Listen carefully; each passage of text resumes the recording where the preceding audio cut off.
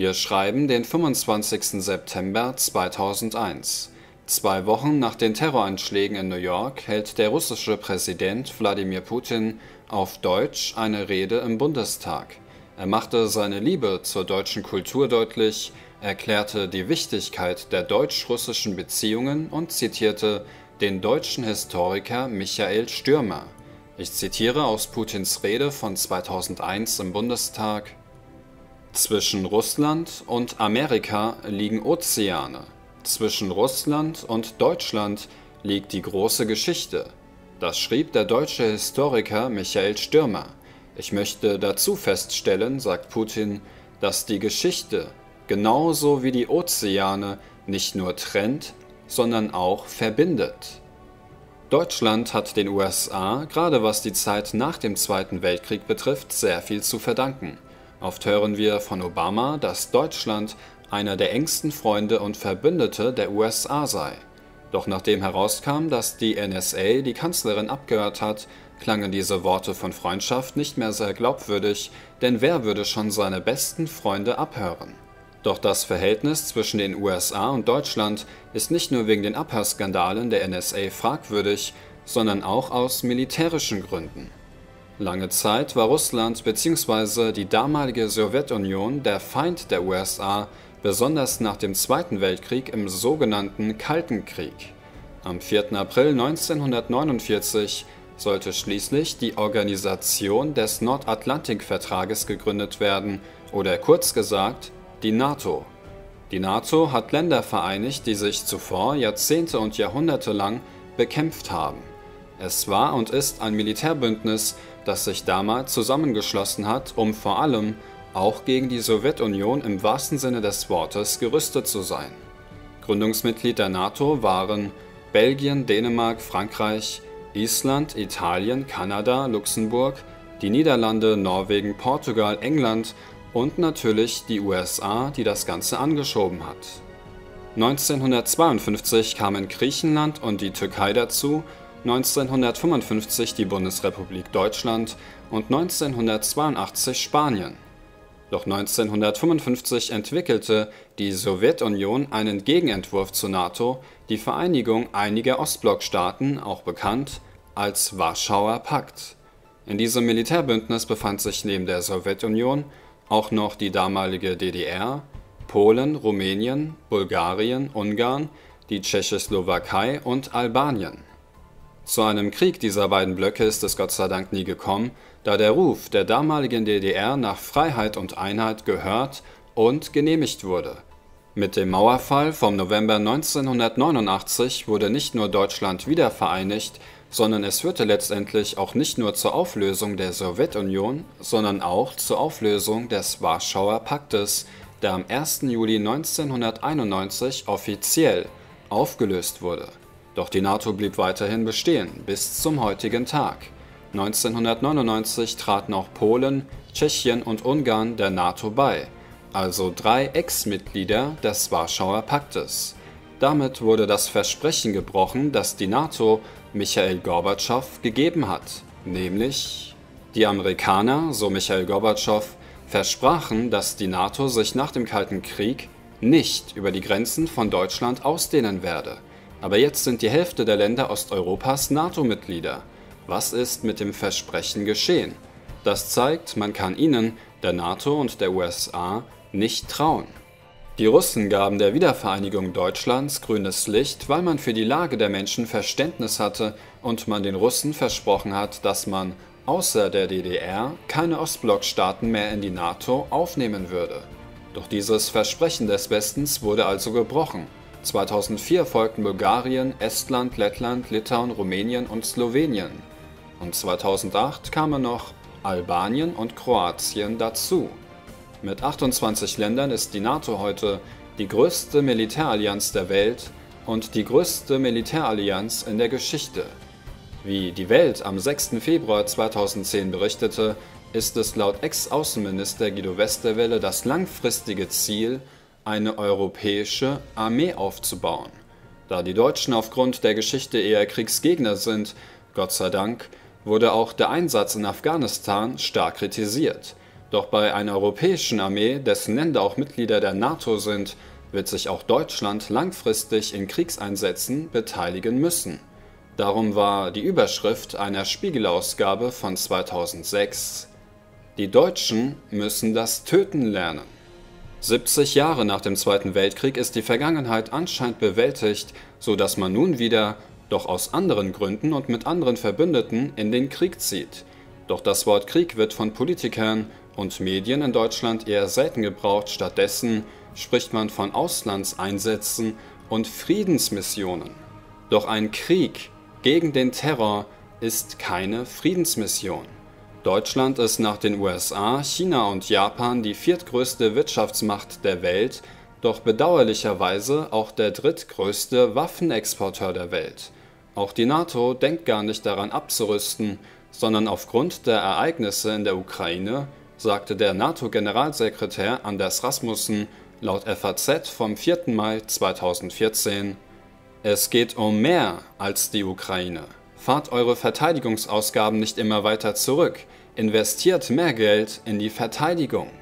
Was die Beteiligung der NATO an Kriegseinsätzen bzw. Friedensmissionen betrifft, sagte der NATO-Generalsekretär Anders Rasmussen laut Tagesschau vom 19. März 2013 außerdem, die Nationen in Europa können und sollten mehr tun, um mit Amerikas Einsatz gleichzuziehen.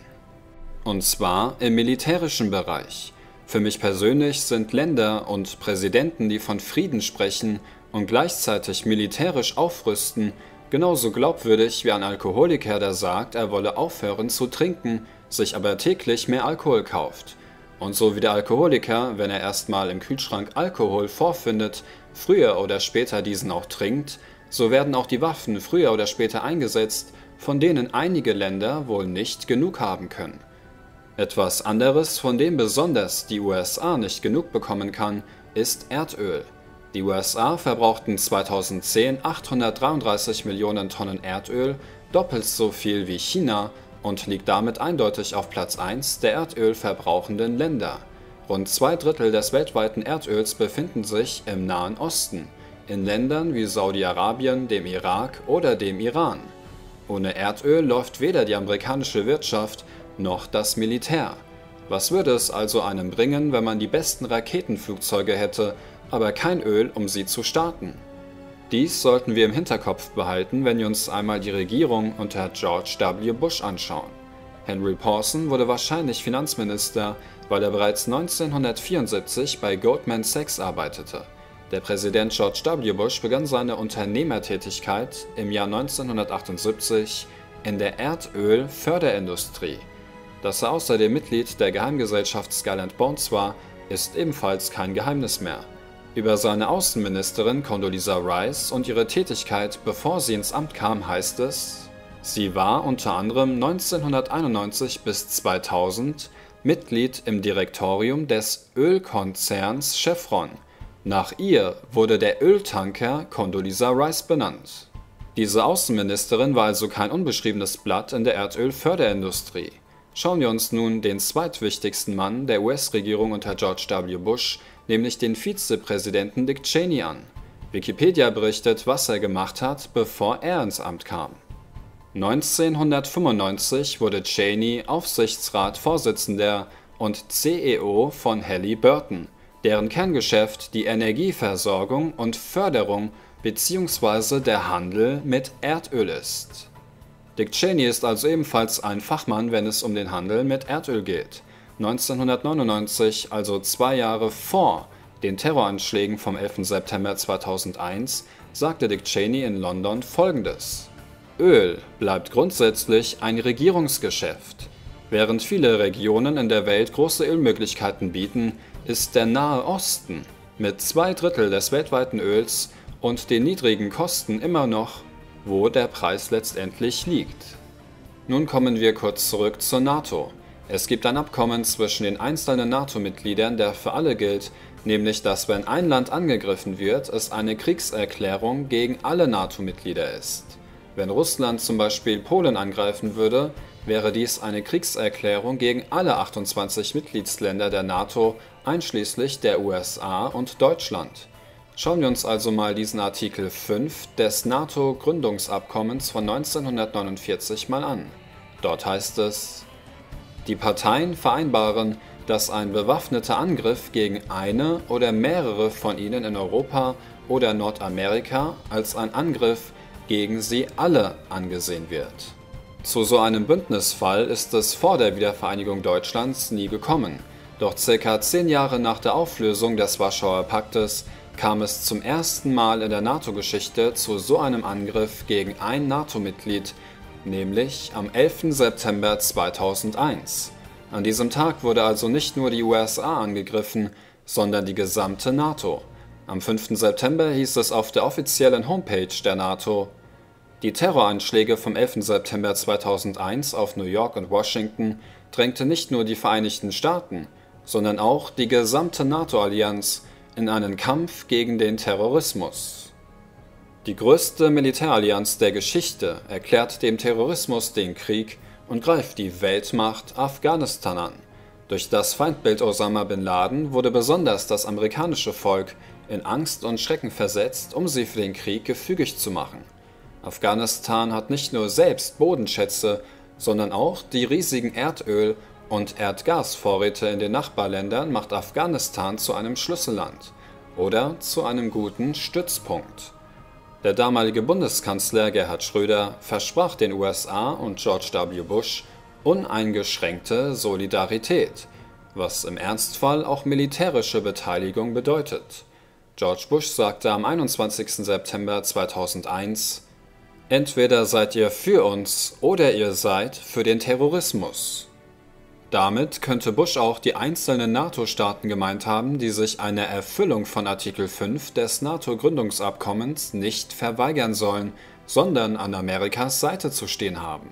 Im Untersuchungsbericht zum 11. September 2001 wird ein Gebäude nicht erwähnt, nämlich World Trade Center Nummer 7.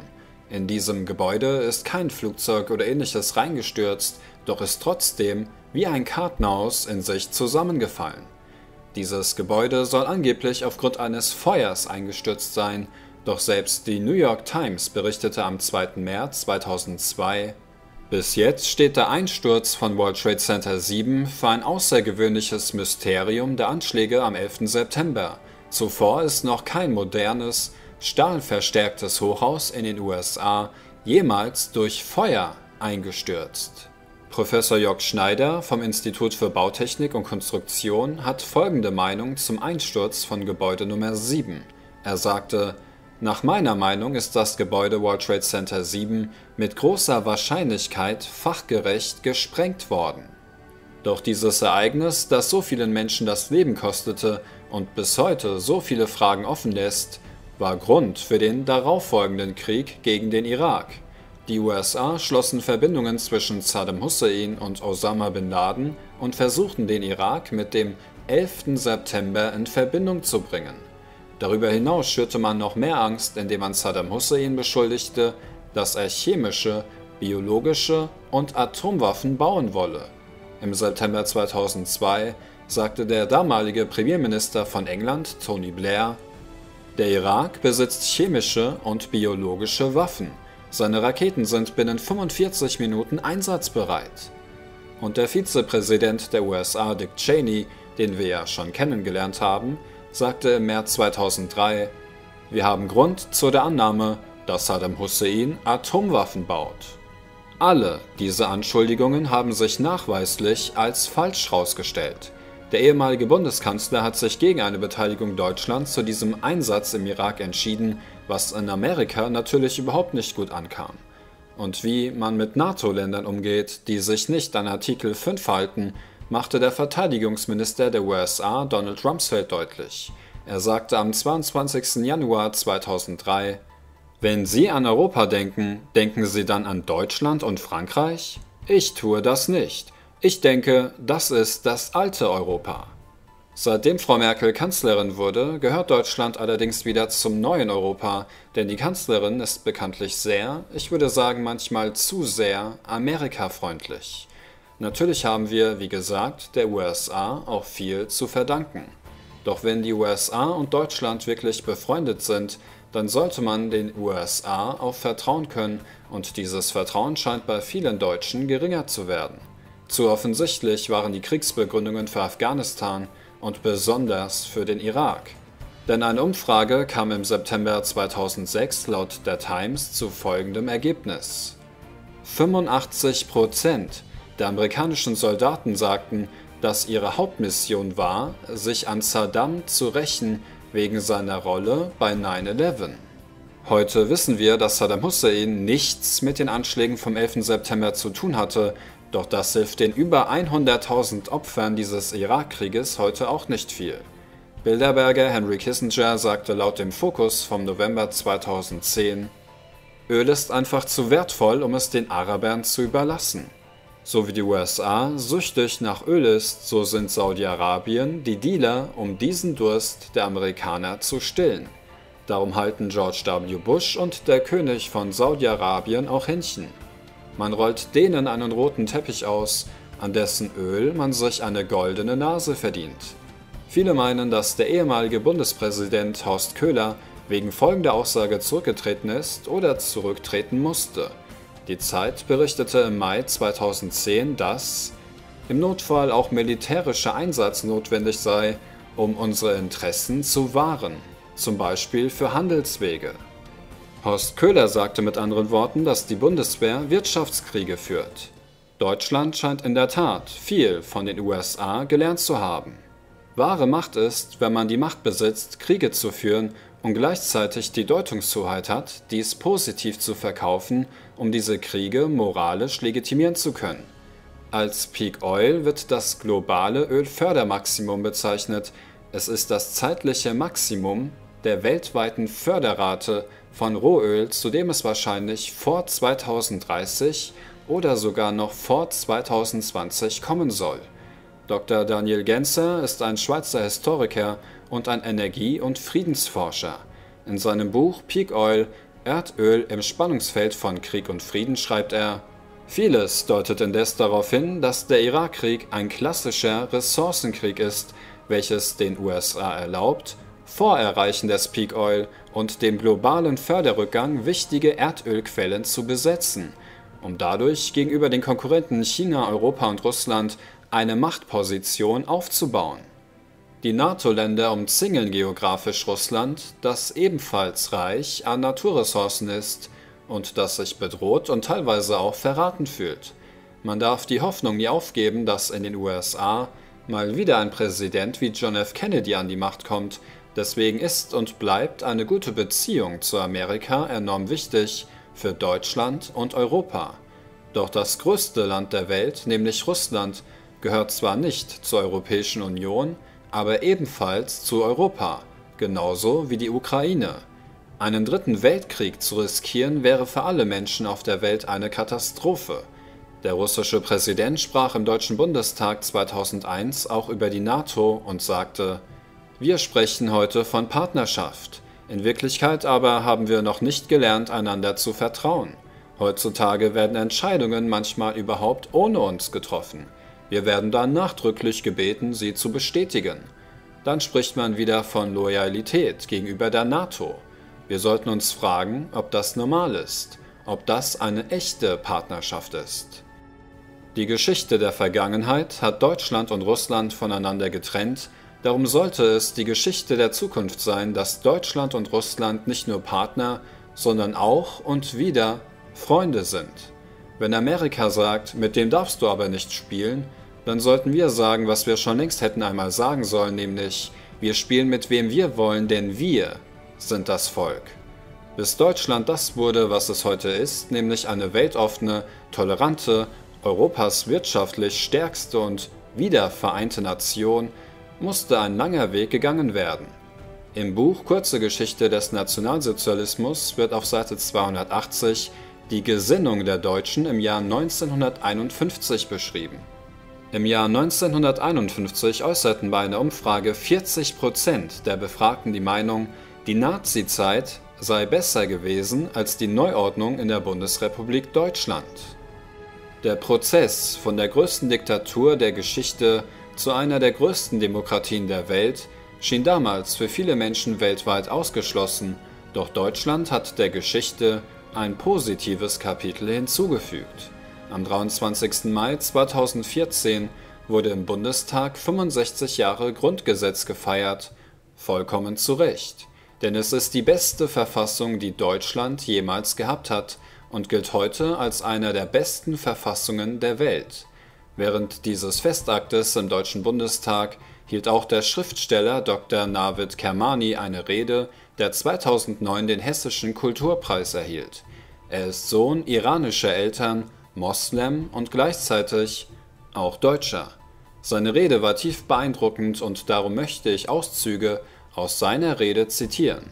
Er sagte, Die Würde des Menschen ist unantastbar, ist ein herrlicher deutscher Satz. Im deutschen Sprachraum vielleicht nur mit der Lutherbibel vergleichbar, hat das Grundgesetz Wirklichkeit geschaffen durch die Kraft des Wortes. Wie froh müssen wir sein, dass am Anfang der Bundesrepublik Politiker standen, die ihr Handeln nicht nach Umfragen, sondern nach ihren Überzeugungen ausrichteten. Wenn ich einen einzelnen Tag, ein einzelnes Ereignis, eine einzige Geste benennen wollte, für die in der deutschen Nachkriegsgeschichte das Wort Würde angezeigt scheint, dann war es der Kniefall von Warschau. Dieser Staat hat Würde durch einen Akt der Demut erlangt. Und das Seltsame ist, es sind neben allem anderen, neben der Rührung, der Erinnerung an die Verbrechen, dem jedes Mal neuen Staunen, auch Tränen des Stolzes, des sehr leisen und doch bestimmten Stolzes auf eine solche Bundesrepublik Deutschland. Es wird keine 65 Jahre und nicht einmal 15 Jahre dauern, bis auch im Iran ein Christ, ein Jude oder ein Bahai wie selbstverständlich die Festrede in einem frei gewählten Parlament hält, im Namen zumal der Muslime, die in Deutschland Rechte genießen, die zu unserer Beschämung Christen in vielen islamischen Ländern heute verwehrt sind, möchte ich sagen und mich dabei wenigstens symbolisch verbeugen, Danke, Deutschland. Wer meine Videos kennt, der weiß, dass in so gut wie jedem Video Bibelverse zitiert werden, da ich mich als gläubigen Christen bezeichne, denn auch das Christentum hat ebenfalls viel zur Kultur Deutschlands und Europas beigetragen. Da ich meinen Glauben und meine Hoffnung auf Gott setze, möchte ich zum Schluss noch aus der Bibel zitieren, die zu lesen früher von der Kirche verboten war. Denn wenn dieses Video eine Botschaft hat, dann eine Botschaft des Friedens. Wenn einige Parteien alle Muslime oder Ausländer, die nicht passen, als unsere Feinde betrachten, die man abschieben müsse, sich selbst aber als Christen bezeichnen, dann sollten wir diesen Parteien die Bibel geben und Sprüche 16, Vers 7 zitieren, wo geschrieben steht, Wenn die Wege eines Menschen dem Herrn wohlgefallen, so lässt er selbst seine Feinde mit ihm im Frieden leben.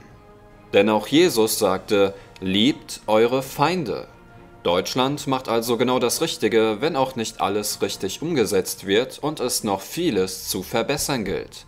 Denjenigen, die ihre Taschen mit Geld vollstopfen, das sie aufgrund von Steuerhinterziehung, Raub, illegale Ölgeschäfte oder Kriegsverbrechen erhalten haben, sollte man direkt den nächsten Vers unter die Nase reiben, nämlich Sprüche 16, Vers 8, wo es heißt, Besser wenig mit Gerechtigkeit als ein großes Einkommen mit Unrecht.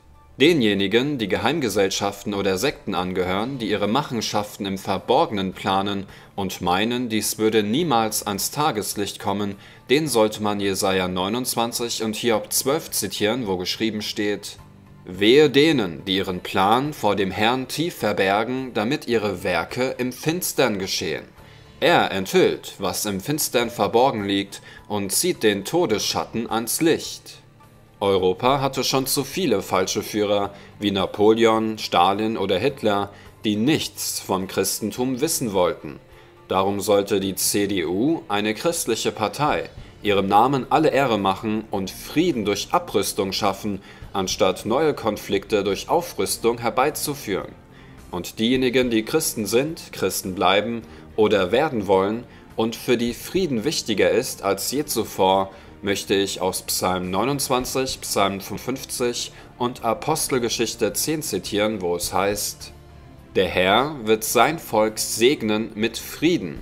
Er hat meine Seele erlöst und ihr Frieden verschafft, indem er Frieden verkünden ließ durch Jesus Christus, welcher Herr über alle ist. Amen.